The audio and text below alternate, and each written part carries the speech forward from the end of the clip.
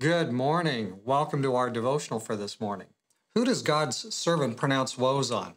Today we're at Jeremiah 23, verses 1 to 4, as we continue through the chronology of Jeremiah. Here's what it says Woe to the shepherds who destroy and scatter the sheep of my pasture, says the Lord. Therefore, thus says the Lord God of Israel against the shepherds who feed my people You have scattered my flock, driven them away, and not attended to them. Behold, I will attend to you for the evil of your doings says the Lord. But I will gather the remnant of my flock out of all countries where I have driven them and bring them back to their folds, and they shall be fruitful and increase. I will set up shepherds over them who will feed them, and they shall fear no more, nor be dismayed, nor shall they be lacking, says the Lord. So now we shift to Jeremiah 23, and it very much seems that we're still in those very few months of the rule of Coniah, 597 BC. He's also Jehoiakim, same person. So the woe is on the shepherds who destroy and scatter the sheep of my pasture. We might assume that this is against the priests or against the false prophets, or today we might apply this just against the pastors. But the shepherds here are all the leaders, the leaders of the main institutions of society. In other words, the, the princes and the rulers, the king, the false prophets, the priests, all the leaders of the culture, they are all the false shepherds. That's who God's wrath is coming up against here. You see, the very pillars of society, in this case, virtually all the sections, They've virtually all gone corrupt. So these are the leaders of the different institutions.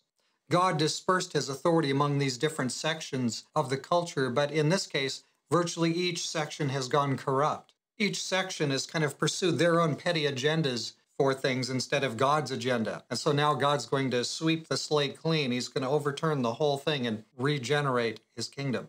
They've despised decades of warning, and so now God is sending the Babylonians to humble them. He's going to sweep away all these shepherds. Eventually, the people will come back from captivity and God will give them leaders who will lead them in the right way.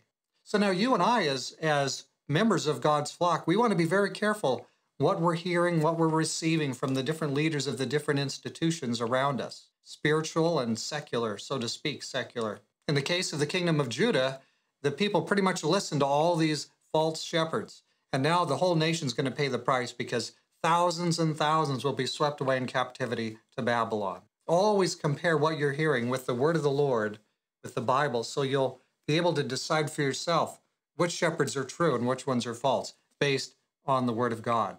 This never gets old. It's never something that we don't have to do. We can all just suddenly just trust everybody. We always need to be alert if we're going to be true followers of the Lord Jesus Christ. Let's pray together. Dear Father in heaven, we want to be right, but there are false shepherds afoot. They're out there doing their thing. Help us, Lord, to be right. Help us to go by your word.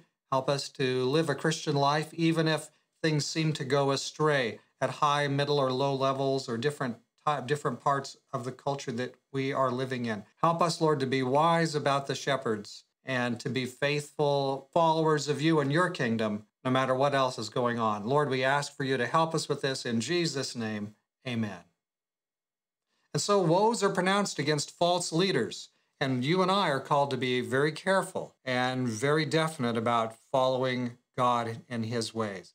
God be with you today as you serve him today.